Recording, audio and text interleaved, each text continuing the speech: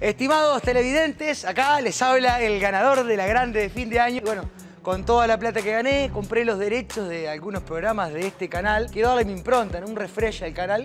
Y vamos a hacer algunos cambios. ¿eh? A poquito vamos a entrar. Flaco, disculpa, ¿te animás a pasar por la oficina mía después de un rato?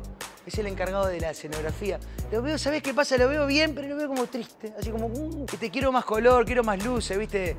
Ganá la grande de fin de año y gastátelo en lo que quieras. Este 29 de diciembre se sortea y tiene un primer premio de 160 millones de pesos. Jugá en cualquier parte del país en tu agente o subagente de quinielas o loterías que con la grande de fin de año vos no cambiás. Cambia tu vida.